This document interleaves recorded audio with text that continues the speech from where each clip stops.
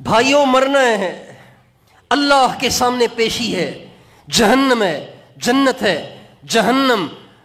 जहन्नम कितनी खौफनाक है कि नबी करीम सल्लल्लाहु अलैहि वसल्लम फजर के बाद सात मरतबा, मगरब के बाद सात मरतबा, रोज़ाना अल्लाह से दुआ करते थे। क्या? अल्लाह अजरनी मिनन्नार। अल्लाह, मुझे जहन्नम से बचाना। सात मरतबा। हमारे नबी फजर के बाद ये दुआ पढ़ रहे हैं और सात मरतबा मगरब के बाद दुआ पढ़ रहे हैं। हुजूर अकरम सल्लल्लाहु अलैहि वसल्लम दुआ कर रहे हैं अल्लाह अजरनी मिनन्नार अल्लाह दोजक से बचाना। अल्लाह दोजक से बचाना। अल्लाह दोजक से बचाना। अतहियात में भी ये दुआ कर रहे हैं, ए अल्लाह दोजक से बचाना।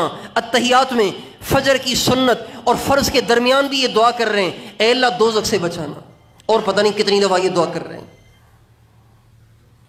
हदीस में आता है, हमारे नबी जब मेराज के लिए तशरीफ़ ले गए, जब मेराज के लिए आप तशरीफ़ ले गए तो आपने एक फरिश्ते को देखा कि मुसलसल रो रहा है, मुसलसल रो रहा है, मुसलसल रो रहा है, मुसलसल रो रहा है। आप आगे चले गए, आगे चले गए। जब वापस आए, तब भी देखा वो फरिश्ता रो रहा है। जहन्नम की दहकती हुई आग सामने है वो फरिश्ता सामने बैठा हुआ है और रो रहा है। हमारे नबी ने पूछा, जबरील, ये कौन है? जब हम गए, उस वक्त भी रो रहा था और हम वापस आए, इतना लंबा सफ़र तय करके आए, अब तक भी रो रहा है। ये है कौन?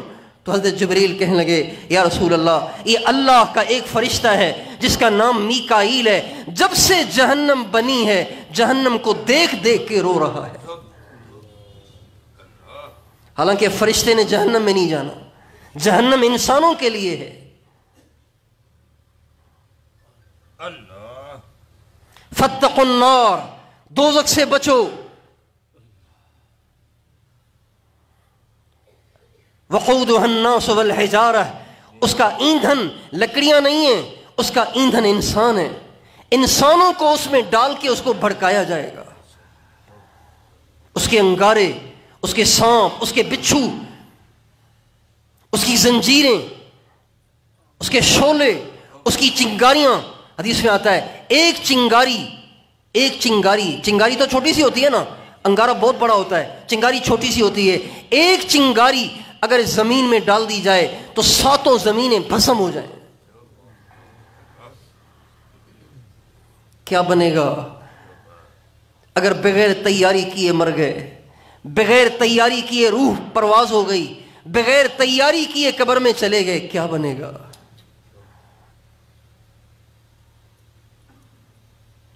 हमारे नबी की बेटी हज़रत जैनब रज़ी अल्लाह तहा जब वो इंतकाल हुआ, वो शहीद हुई। हबार बिन असवद ने उनकी ऊँटनी को बरछा मारा।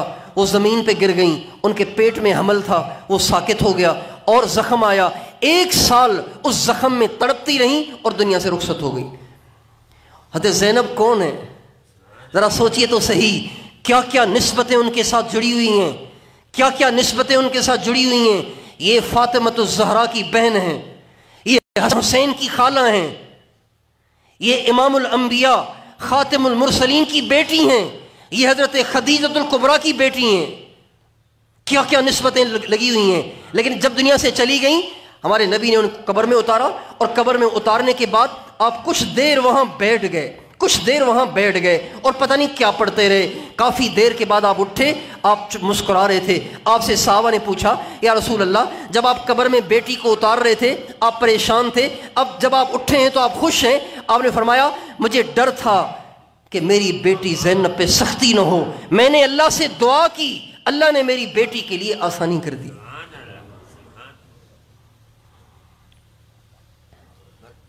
हज़रत जैनब को तो ज़रूरत पड़ रही है इमामुल अंबिया की दुआ की। हंस रहे खा रहे पी रहे मज़े कर रहे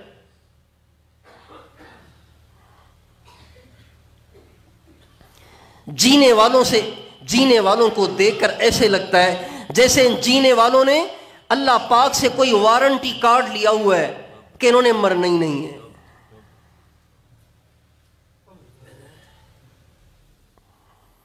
भाइयों, हम सबने मरना है।